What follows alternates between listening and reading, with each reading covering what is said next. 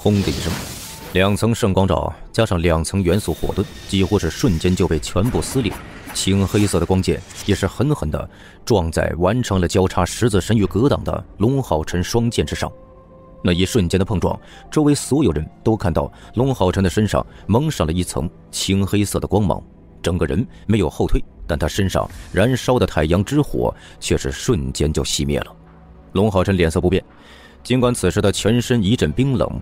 风元素与黑暗元素疯狂地向他体内奔涌着，但是金光也同样在他身上升腾而起，那是光之复仇的光芒。有光之复仇出现，那就证明龙浩辰的神域格挡完成了。那嗜血贝塔没能真正的破开他的防御。一声大喝从龙浩辰的口中爆发出来，令人震撼的一幕出现了。从他体内浓郁的液态灵力流转而出，居然就那么硬生生地震散了嗜血贝塔的风与黑暗双属性魔力攻击。圣灵铠上蒙上了一层金色的液态灵力，看上去更加的绚丽夺目。此时的龙浩辰就像是太阳之子，绽放着夺目的光彩。在龙浩辰抵挡住嗜血贝塔攻击的同时，其他人也没闲着。王媛媛和司马仙已经分别从左右两侧攻了上去。全力攻击嗜血贝塔的腿部，七阶魔族的身体，那强度可是极为的恐怖。纤细的腿部相对会脆弱一些，受到圣印灵炉的影响，嗜血贝塔不会攻击他们，但自身强大的防御能力还是彰显无疑。王媛媛好一些，硬碰之下，令嗜血贝塔的身体被撼动几分，没能接上对龙浩辰的第二下攻击。而司马迁的嗜血状态刚刚结束，爆灵丹威力还没有爆发出来，悍然硬碰下，整个人都被掀飞出去，双手虎口同时爆出了鲜血。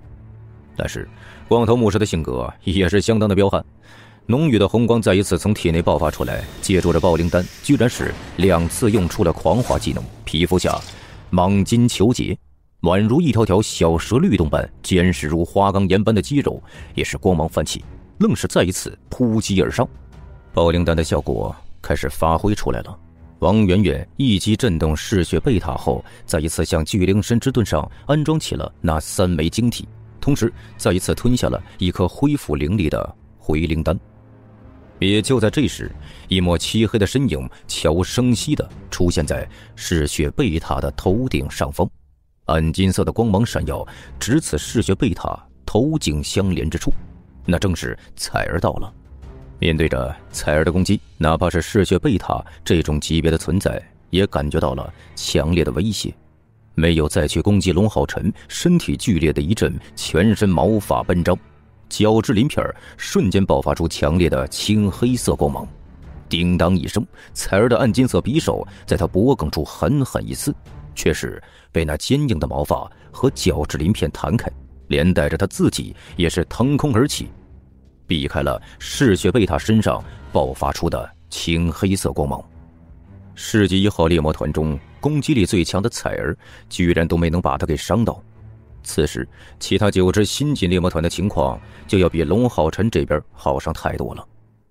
运粮队的普通双刀魔遇到强大的魔法师，一扫便是一片，还有着其他职业的配合。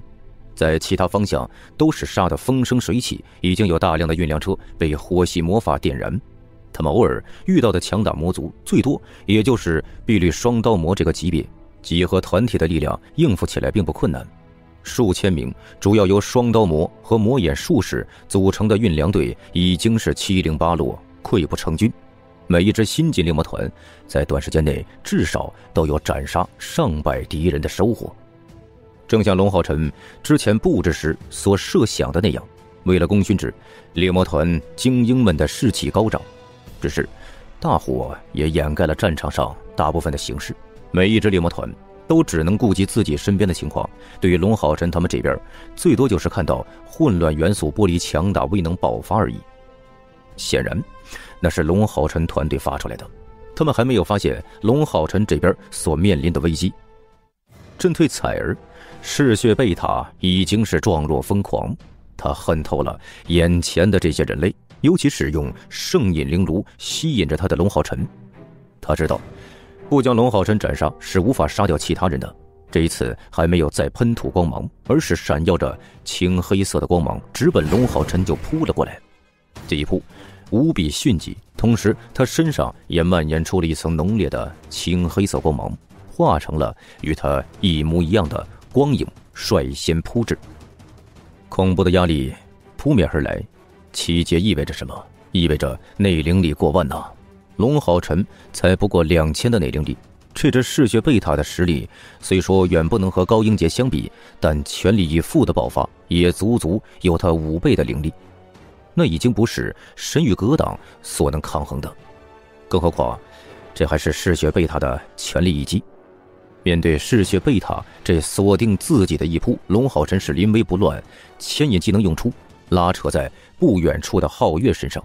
借助着皓月巨大的体重，给自己的身体一个反拉力，整个人瞬间横移。嗜血贝塔虽说锁定在龙浩辰身上，但他这是实体攻击，自然不能像能量攻击那样自行转向。四肢在地面一弹，再一次向龙浩辰扑去。这个时候，王媛媛的巨灵神之盾已经安装完毕，陈婴儿的生灵之门也终于是完成了召唤。彩儿和司马仙追向了嗜血贝塔，林星和韩宇的防御技能拼尽全力的向龙浩辰身上释放着，整个场面看上去有些混乱。可此时此刻，龙浩辰的心中却是无比的清醒。硬拼那是必死无疑，这是龙浩辰给自己的答案。哪怕是有伙伴们的防御技能帮助，面对一个七阶魔族拼尽全力的一击，他也绝对承受不住。就在龙浩辰准备下定决心拼死一搏之际，背后三声合一的怒吼骤然响起，震耳欲聋的嘶吼声混合着淡淡的紫意，透过了龙浩辰的身体，撞击在嗜血贝塔身上。龙浩辰只觉着全身一热，体内的鲜血仿佛被完全点燃一般。紧接着，他清楚地感受到背后一股大力狠狠地撞击在了自己的身上。从其他人的角度看得更加清楚，在龙浩辰牵引着皓月的身体令自己倾斜过去的时候，皓月的三个头猛然扬起，怒吼声中，他那庞大的身体竟是完全变成了晶莹剔透的紫色。一声怒吼，紫色光晕瞬间喷吐，笼罩住了龙浩辰的身体，同时也透过他的身体撞击在嗜血贝塔身上。嗜血贝塔释放出的青黑色光影。居然就那么消融了，他的本体也在空中猛然一滞，这一扑，居然就被那看上去不过是雾气形态的紫色氤氲之气所挡，就连嗜血贝塔眼中因为暴怒而燃烧起来的血焰也随之暗淡了下去，反而是流露出一丝惊恐之色。皓月化为晶莹紫色的身体，就伴随着他喷吐出的紫光而动，从后方以风驰电掣般的速度撞在了龙浩辰的身上。令众人瞳孔收缩，大惊骇异的是，皓月那四米多长的身躯，居然就那么融入了龙浩辰的身体之中，令龙浩辰整个人都蒙上了一层紫色光彩。原本一头黑发瞬间变成了紫色，同样变成了紫色的还有龙浩辰的左眼，通透晶莹的金色眼眸突然有着一只变成了紫色，这是何等怪异的事儿！炽热，龙浩辰此时的感觉就是炽热。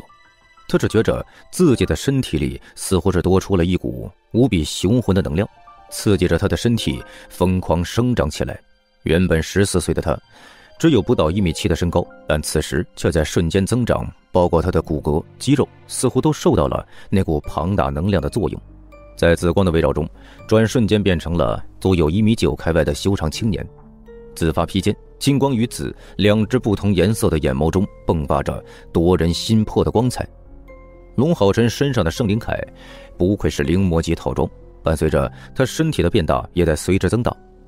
龙浩辰的相貌本就俊秀，但原本的他毕竟只是一个少年，这一看上去甚至是有些像女孩子。但是此时此刻，在紫光环绕之下的他，就连王媛媛这样性格十分男性化的姑娘，看的都呆滞了。金色与紫色，就像是正义与邪恶的融合。英俊到极致的相貌，宛如创世神精雕细琢而成的雕像，白皙的皮肤也透出了高贵的紫色。他整个人的身体甚至都略微悬浮在半空之中。紫眸高贵而写意，金眸纯净而善良，这两种不同气质的结合，令龙浩辰宛如一颗巨大的磁石，吸引着周围一切生物的注意。哪怕是作为死敌的嗜血贝塔，看着身体迅速变化的龙浩辰，都有些呆滞了，居然没有立刻向他发动攻击。陈英儿的生灵之门已经完成了，可惜啊，天不从人愿，这一次从生灵之门钻出来的，竟然是一只白白胖胖、圆圆滚滚的小猪。小猪身长不过尺余，白皙的表皮看上去很有几分晶莹剔透的感觉。它此刻正一脸好奇地看着周围的一切。当他的目光看到通体紫光莹然的龙浩辰时，就像是看到了鬼魅一般，嗖的一下反身扑出，直接就扑在了陈婴儿的怀中，身体更是在瑟瑟发抖，因为过度的恐惧，一张猪嘴甚至是咬在了陈婴儿的手上。陈婴儿只觉得手掌略微有些刺痛，但并没有在意。此时他眼中满是星光灿烂呐！这就是浩辰长大以后的样子吗？好帅啊，帅到无敌了！桃心状的光芒不断从他眼中释放出来，他只觉着自己的心瞬间就像被强行剥夺一般，从没有过花痴的心态，几乎是不受控制的出现了。彩儿的感受和其他人不一样。因为他不能目视，看不到外边的情况，但他的感觉却要比任何人都要敏锐。他感觉到龙浩辰变了，原本的龙浩辰消失了，他的气息正在以几何倍数的增强着，一股他无法形容的气息正在飞速异变。令蔡儿骇然色变的是，他体内的轮回灵炉与轮回之剑在这个时候骤然迸发出强烈无匹的杀机。那似乎是完全出于自我保护而产生的凛冽杀气。自从拥有了轮回灵炉与轮回之剑后，这还是他们第一次主动出现变化。难道说是因为龙浩辰身上的气息令他们感受到了威胁，甚至是恐惧吗？整个异变过程说起来慢，实际上就是一瞬间的功夫。一双晶莹剔透的紫色翅膀骤然从龙浩辰的背后舒展开来，翅膀不算很宽，翼展也只有三米开外。与当年龙星宇所施展的灵力化翼是远远不能相比的，但这紫色的双翼却像是紫水晶雕琢而成的一般，没有羽毛，却充满了晶莹的质感。灵力化翼，辉耀启示，世纪一号猎魔团众人的心中震撼是无以复加的。没有人知道龙浩辰为什么会突然出现如此大的变化，他们甚至不知道这个变化是好还是坏。但可以肯定的是，灵力化翼正是辉耀骑士的特征，而且此时的龙浩辰恐怕不只是普通的辉耀骑士那么简单。圣灵剑悄然消失在勿忘我戒指中，龙浩辰的手中只剩下了一柄蓝与光之芙蓉，璀璨的金蓝两色光彩瞬间爆发。龙浩辰左手做出一个上托的动作，金色与蓝色就那么化为两缕光芒，在他掌心之上环绕。